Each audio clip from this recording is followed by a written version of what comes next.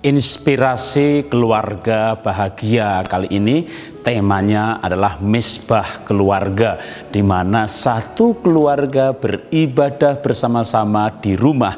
Dengan demikian di rumah ada hadirat Tuhan di rumah ada pujian penyembahan dan ketika Tuhan hadir maka dia memberikan kemuliaannya berkatnya kesehatannya sukacita damai sejahtera.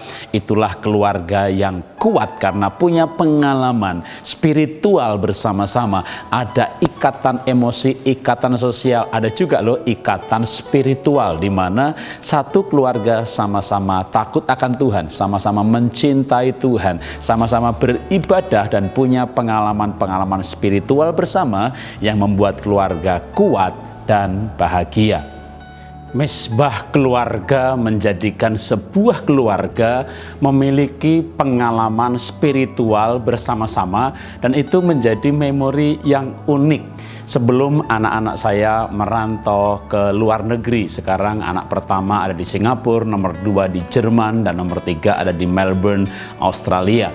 Dulu ketika mereka masih kecil dan semuanya ada di rumah, kami membangun mesbah keluarga. Pengalaman itu begitu uniknya, sampai belasan tahun kemudian saya tuh masih kadang-kadang ingat bagaimana doanya anak-anak waktu mereka kecil dulu. Misalnya waktu saya dulu mau pelayanan ke pedalaman Kalimantan, di mana di sana banyak dukun, banyak orang menyembah berhala. Lalu sebelum saya berangkat pelayanan, anak-anak berdoa dalam mesbah keluarga. Dan saya masih ingat doanya Bena yang dia berkata, Tuhan, setan-setan yang di Kalimantan saya ikat 10 10 10 saya buang ke laut. Saya sampai mau tertawa tapi setelah selesai mesbah keluarga saya tanya sama anak saya, Ben, kenapa setannya diikat 10 10 gitu ya? ya katanya kan setannya banyak ya biar cepat pembuangnya ke laut. Jadi kadang anak itu doanya lucu, tapi sebenarnya runut. Kenapa runut? Karena beberapa hari kemudian ketika dia berdoa kembali, anak saya berdoa Tuhan, setan yang di laut jangan dibuat, jangan dimakan ikan paus, nanti dimuntahkan ke darat, ketemu papa lagi. Jadi sepertinya lucu, tapi sebenarnya runut. Kenapa runut? dia yakin yang diucapkan itu terjadi bahwa setannya dibuang ke laut maka sekarang ada di laut maka jangan sampai dimakan ikan nanti dimuntahkan lagi ke darat itu kan berarti runut atau yakin sekali apa yang diucapkan terjadi dan itu doa yang membuat saya ini kalau pergi pelayanan itu rasa aman rasa mantap luar biasa karena didukung oleh doa keluarga doa anak-anak di dalam mesbah keluarga. Misbah keluarga menjadikan sebuah keluarga itu uh, kuat keluarga yang lain. Misalnya ya bukan keluarga saya suaminya nyumbang gitu ya murah hati istrinya marah. Eh, murah hati di luar di dalam rumah pelit. Ya.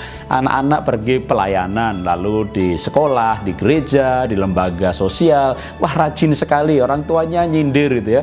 Wah di rumah aja males kamar berantakan. Nah ini hal-hal ini terjadi karena tidak ada misbah keluarga. Kerohanian seseorang tidak dirasakan oleh anggota keluarganya sehingga ketika di luar rumah dia baik, dia rohani, dia aktif, dia sosial. Yang dalam rumah mempertanyakan sok baik? gitu ya.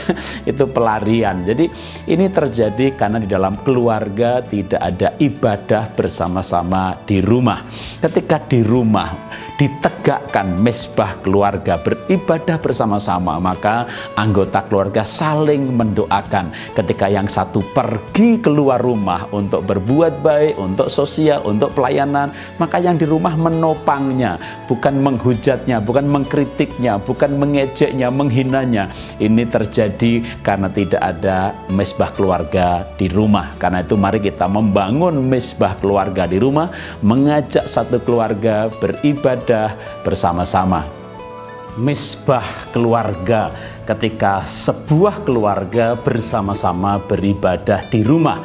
Maka Tuhan hadir di rumah itu memberikan berkatnya sukacita damai sejahtera kebahagiaan. Maka keluarga itu menjadi kuat relasinya lahir dan batin dan menikmati kehidupan dengan bahagia